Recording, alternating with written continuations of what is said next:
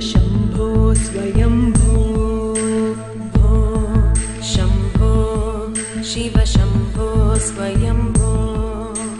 ಶ್ರೀ ಕ್ಷೇತ್ರ ಧರ್ಮಸ್ಥಳದಲ್ಲಿ ಶ್ರೀ ಮಂಜುನಾಥ ಸ್ವಾಮಿಯ ಲಕ್ಷ ದೀಪೋತ್ಸವಕ್ಕೆ ಚಾಲನೆ ದೊರೆತಿದೆ.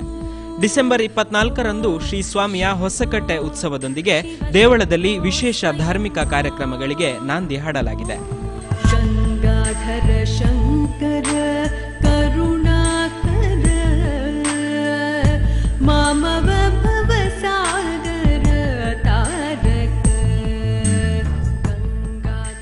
ದೀಪೋತ್ಸವದ ಪ್ರಥಮ ದಿನದ ಪ್ರಯುಕ್ತ ದೇವಳದ ಆವರಣದಿಂದ ಹೊಸಕಟ್ಟೆಯವರೆಗೆ ಶ್ರೀ ಮಂಜುನಾಥ ಸ್ವಾಮಿಯ ಮೆರವಣಿಗೆ ಸಾಗಿ ಬಂತು.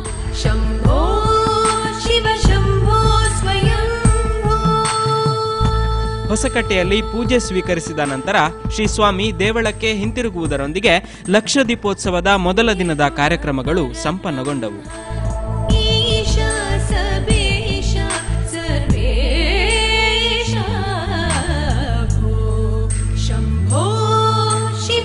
пусть своем